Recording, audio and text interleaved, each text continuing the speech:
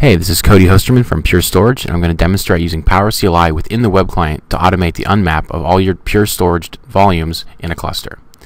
So I've already created my Power CLI script to unmap volumes, so now let's run it. So we go into Hosts and Clusters, and now we're going to right click on our cluster, and we see a new Power CLI menu option, and we go to Execute Script. This allows you to run any scripts that you configured to run from a cluster. We have our unmap cluster script, and now we're going to indicate a block count, and this is the iterations that Unmap uses uh, when uh, filling out balloon files and unmapping the volume. So now what it's going to do is going to look for all the volumes and data stores um, on that uh, in that cluster. It found four of them, and we'll watch here in ESX top. We'll see as it starts issuing unmap commands uh, to a certain device, you'll see that mb delete, which is uh, basically unmap commands um, throughput, uh, iterating and going up.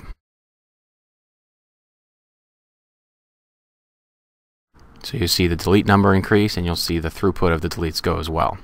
So it's on one data store at a time. So just that third one from the top um, is going to be going up right now and then it'll go to the, the second and then the third.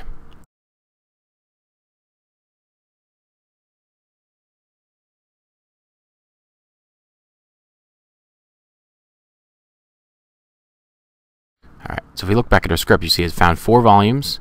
Um, it's using that block count that I typed in. Uh, the first data store found was not a pure volume, so it's going to skip it. And then the last three are pure volumes, so it's going to serially go ahead and unmap those from a given host.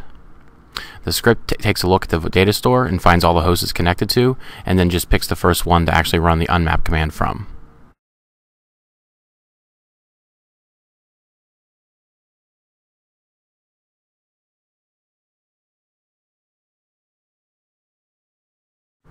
And that's it. All your Pure Storage data stores from that cluster are now unmapped and reclaimed. Thanks.